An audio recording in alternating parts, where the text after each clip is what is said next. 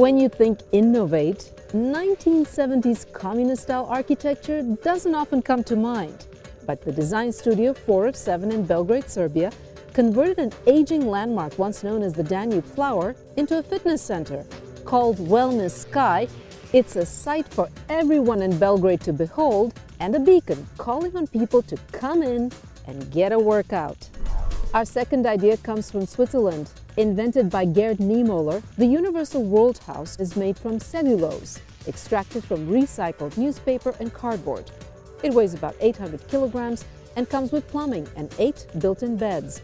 Its versatile structure allows the walls to open up to take advantage of daylight and natural ventilation. And finally, we told you about it earlier, Masdar, hoping to be the world's most sustainable city Plans include building the largest grid-connected solar plant in the Middle East. In fact, 90% of the developments in Masdar will be powered by the sun. CNN's Stan Grant takes us on a tour of this eco-oasis in the United Arab Emirates. In the desert of the United Arab Emirates, a new city is blooming. They call it Masdar, or the source in Arabic.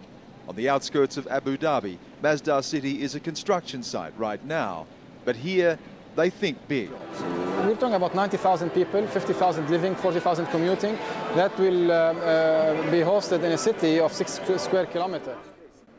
Clean and green, that's the catch cry. The world's first zero carbon, zero waste city. 90% of the development's power from the sun. Here is the engine room, a solar panel farm in the desert. Ultimately, there will be nearly 90,000 panels here, enough to power phase one of the city and the construction of the rest. Solar remains much more expensive than gas, which currently powers Abu Dhabi, but Masdar's director says he has the answer. Cost more, use less. Exactly. Automatically use less because of the design and the planning of the city.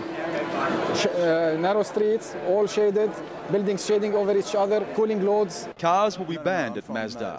Everyone will be transported by specially designed, clean, space-age style people movers. The plan is somewhere around two to 3,000 of these vehicles. Abu Dhabi, a powerhouse of oil production, 10% of world supply, wants to lead the world in finding alternative sources of power. The Abu Dhabi government has pumped 15 billion US dollars into the venture. In September this year, it turns from dream to reality. The first residents move in. The source will become the future. Stan Grant, CNN, Abu Dhabi. The future doesn't look too bright for a tiny group of islands in the South Pacific. Tuvalu is a place you've probably never heard of. But CNN's Kyung Lah reports scientists say it's at the center of concerns over climate change. Imagine a place in harmony with nature. The people live off the sea and the soil and produce few emissions. This is Tuvalu, a group of nine tiny islands in the South Pacific. Some 10,000 people live here, and their way of life is dying. Shuichi Endo captured these images. The waters around Tuvalu are rising, he says, because of global warming. Erosion of the shores, farmland destroyed. Tuvalu is drowning. No point on Tuvalu is higher than four and a half meters above sea level. The government and many experts believe the islands could one day disappear under rising water. Endo, once an architect, was so moved by Tuvalu's plight, he ditched his 9 to 5 job and started taking pictures. The goal? To shoot 10,000 pictures, mainly of Tuvalu's people, bringing the plight of a small island nation to a global audience. Global warming's impact is distant to us, says Endo. The goal of the 10,000 project is to destroy this distance. For example, look at this boy, says Endo. His name is Peach. He's 13. His house floods regularly. He dreams of a future without the rising waters.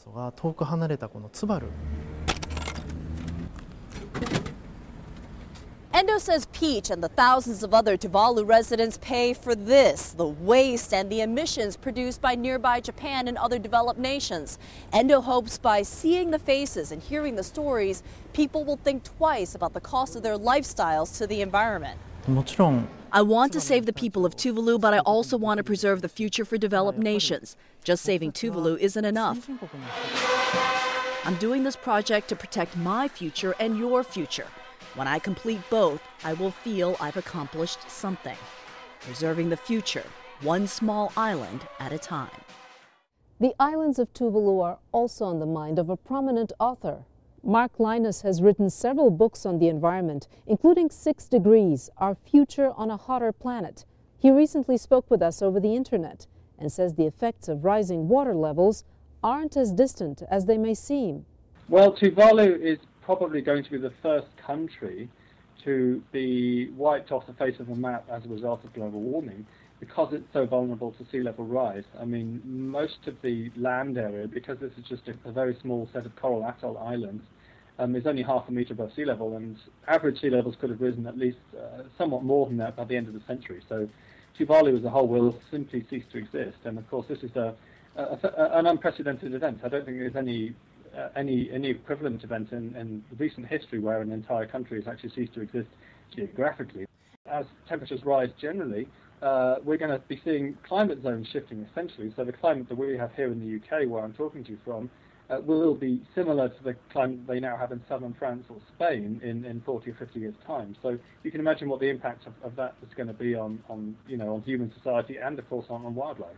Any scientist will say to you, you can't ascribe a single event to, uh, to, to, climate change. I mean, there was a big debate about Hurricane Katrina when that hit New Orleans in 2005. Was that a climate change event? Um, certainly, it was probably aggravated by climate change because as the seas get warmer, there's more energy available to make hurricanes uh, and, and other tropical storms stronger. Um, and so it, it, seems very likely that extreme weather is going to be on the rise and that um, insurance pre premiums are going to go up. There's going to be large parts of the world where people won't be able to get insurance. Um, if you're living too close to the coast, then you'll be in the firing line. In other parts of the world, it's flooding from rivers. I mean, here in the UK, we also we see a lot a lot of increased flooding now because rivers are getting higher and, and there's more rainfall falling, um, in, in all different seasons. Um, so it, it, it's going to be quite tough for people to adapt to this. We can all start reducing our carbon footprint with the flip of a switch or the click of a mouse.